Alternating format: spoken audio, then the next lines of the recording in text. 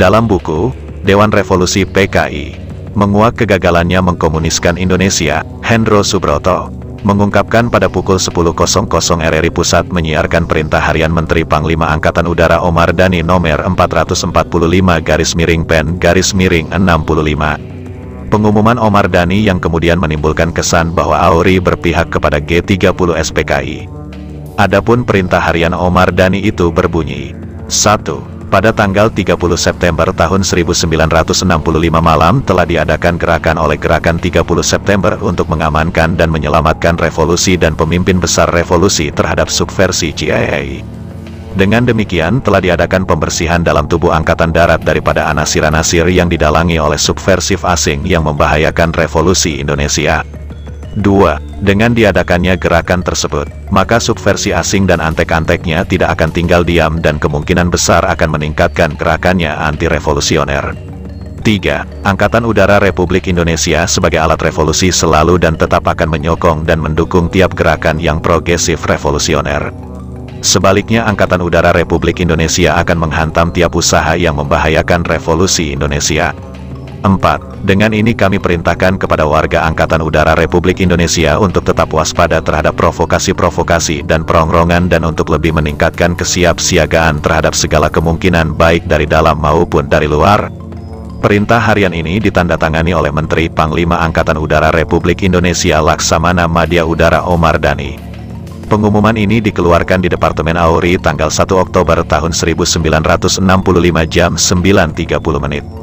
Menurut Hendro Subroto dalam bukunya, perintah harian itu disiarkan dalam bentuk radiogram nomor 1206 dengan lampiran dua halaman yang dikirim ke seluruh kesatuan operasional Auri pada pukul 9.30 menit. Di kemudian hari, Komodor Udara Dono Indarto, Komandan Jenderal Akademi Angkatan Udara di Yogyakarta mengatakan kepada Hendro Subroto bahwa ia tidak menerima radiogram itu.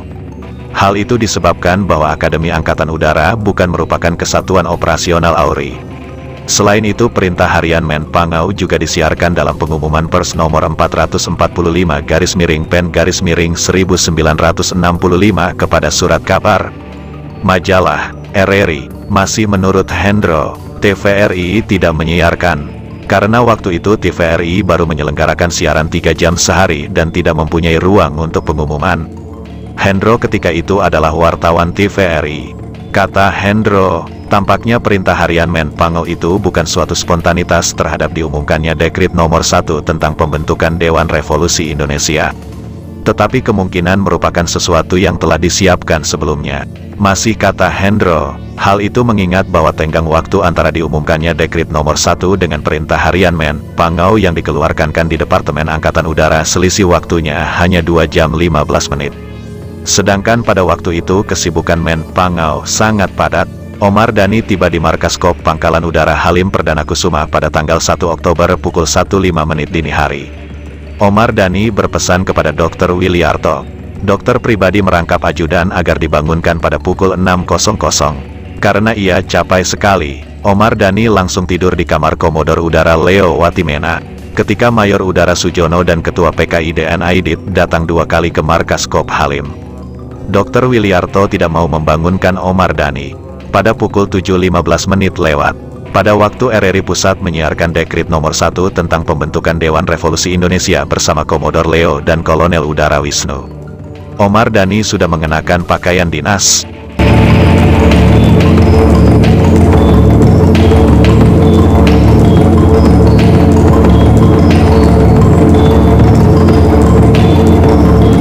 pada pukul 8.00 pada waktu Mayor Suparto.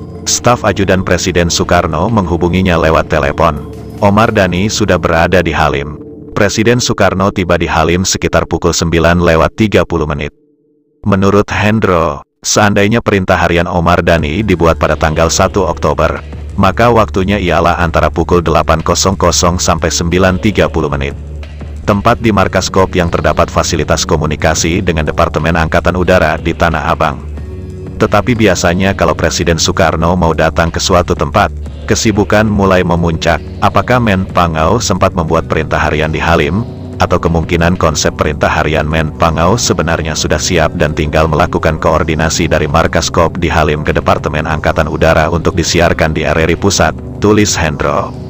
Menurut Hendro, Perintah harian Men Pangau yang dikeluarkan pada waktu Laksdia Omar Dhani berada di pangkalan udara Halim Perdana Kusuma dan senjata organik dengan nomor registrasi Auri yang dirampas dari tangan Sopsi oleh pasukan Maijen Soeharto merupakan indikasi bagi Kostrat bahwa pangkalan udara Halim menjadi pusat G30 SPKI. Tapi rupanya, perintah harian Omar Dhani ini bikin kaget sebagian perwira Auri lainnya, Salah satunya yang kaget dengan perintah harian Omar Dhani itu adalah Laksdia Udara Maki Perdana Kusuma. Menurut Laksdia Udara Maki Perdana Kusuma, perintah harian Men Pangau tanggal 1 Oktober itu sangat mengejutkan, karena sangat berlainan dengan apa yang dikisahkan sebelum tanggal 1 Oktober. Kalau dikatakan bahwa gerakan itu merupakan gerakan internal Angkatan Darat, tetapi tiba-tiba muncul Dewan Revolusi. Laksdia Udara Maki Perdana Kusuma mengaku resah ketika mendengar perintah harian Omar Dhani. Karena sehari sebelumnya Omar Dhani mengatakan tidak ikut campur tangan, Omar Dhani malahan membuat perintah harian yang modusnya sangat mengagetkan. Jadi kalau kita kemudian cepat-cepat bagaimanalah, ini mesti di counter, ini nggak benar, kata Laksdia Udara Maki Perdana Kusuma. Tidak hanya Laksdia Udara Maki Perdana Kusuma yang kaget, Komodor Andoko, Deputi Pangau Bidang Logistik juga kaget.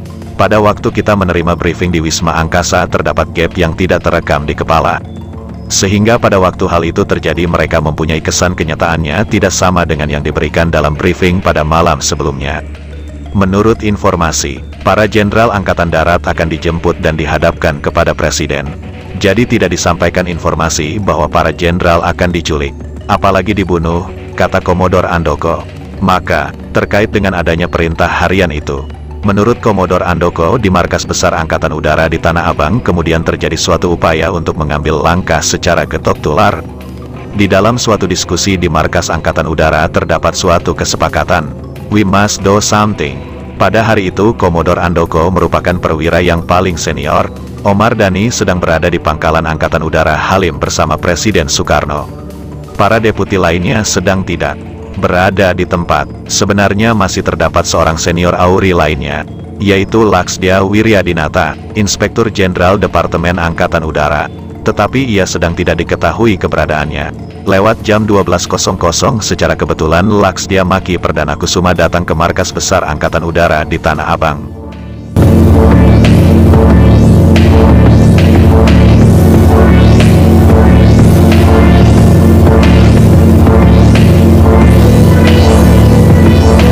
Laksdia Maki melihat para perwira Auri agak down adanya perintah harian Omar Dhani yang disiarkan melalui radio. Kemudian Laksdia Maki mengusulkan agar para perwira membuat pernyataan. Ternyata mereka juga telah berpikir demikian. Mayor Udara Farman, asisten Direktur Penerangan Direktorat Intelijen yang biasa membuat statement, diminta menyiapkan mesin tulis. Laksdia Maki membacakan konsep yang dibuat bersama-sama secara verbatim. Kemudian diketik oleh Mayor Farman. Menurut SOP secara tertulis atau tidak tertulis yang berlaku di Markas Besar Angkatan Udara jika Men Pangau sedang tidak berada di tempat, maka Deputi Pangau Bidang Operasi yang mewakilinya. Tetapi satu-satunya deputi yang berada di Markas Besar Angkatan Udara pada waktu itu ialah Komodor Andoko. Jadi Komodor Andoko Deputi Pangau Bidang Logistik yang menandatanganinya. Isi pernyataan Auri nomor 446 garis miring pen garis miring 65 selengkapnya sebagai berikut. Pernyataan Auri nomor 446 garis miring pen garis miring 1965 perihal Auri patuh dan taat kepada Presiden Panglima Tertinggi ABRI Pemimpin Besar Revolusi. Pertama, berhubungan dengan beberapa perwira Angkatan Udara Republik Indonesia yang namanya dicantumkan dalam apa yang menamakan diri Dewan Revolusi Indonesia yang dibentuk oleh golongan kontra-revolusioner yang menamakan diri Gerakan 30 September. Kedua, dengan ini diumumkan baik perwira-perwira yang bersangkutan maupun Departemen Angkatan Udara sama sekali tidak tahu menahu tentang susunan maupun tujuan apa yang menamakan dirinya Dewan Revolusi. Ketiga, seluruh warga Angkatan Udara Republik Indonesia tetap waspada dan menunggu perintah paduka yang mulia Presiden Panglima Tertinggi ABRI, pemimpin besar revolusi Bung Karno. Angkatan Udara Republik Indonesia tetap menjaga persatuan dan kesatuan angkatan, alat revolusi yang progresif revolusioner bersama-sama menghancurkan kontra-revolusi dan nekolim yang membahayakan revolusi dan negara Republik Indonesia. Agar seluruh anggota Angkatan Udara Republik Indonesia mempertinggi kewaspadaan dan tetap melakukan tugas masing-masing sebagaimana biasa. Pernyataan Auri itu diteken oleh Komodor Andoko selaku Deputi Pangau Bidang Logistik dan dikeluarkan di Departemen Angkatan Udara. Menurut Hendro, beberapa orang perwira menyebut surat pernyataan itu sebagai counter statement. Komodor Andoko keberatan dengan sebutan itu, karena ia tidak merasa melakukan counter terhadap siapa pun. Baginya lebih baik disebut sebagai denial statement karena surat pernyataan itu menyangkal kebenaran nama-nama perwira Departemen Angkatan Udara yang dicantumkan oleh apa yang menamakan dirinya Dewan Revolusi Indonesia.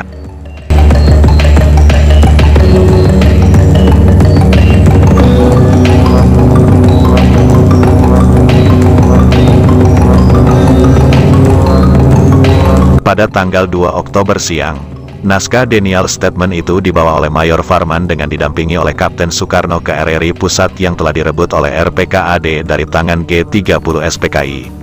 Pada waktu itu semua berita yang bersifat politis yang akan disiarkan melalui RRI Pusat harus mendapat persetujuan oleh Brigjen Ibnu Subroto.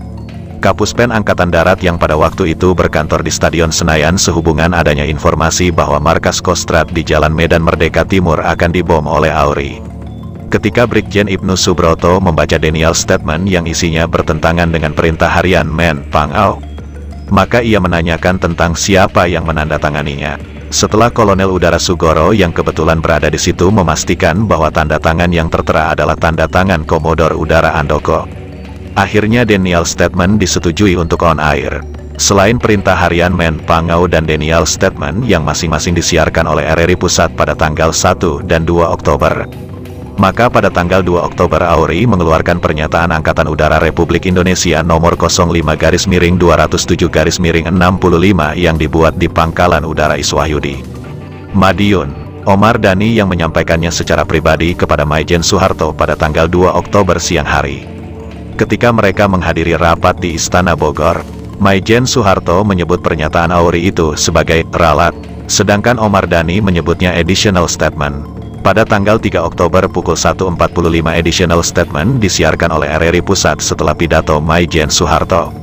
Adapun pernyataan Auri nomor 05 garis miring 207 garis miring 65 yang dibuat di Pangkalan Udara Iswahyudi dan dikeluarkan di Pangkalan Udara Halim pada tanggal 2 Oktober tahun 1965. Selengkapnya berbunyi sebagai berikut. 1. Auri tidak ikut campur dalam gerakan 30 September.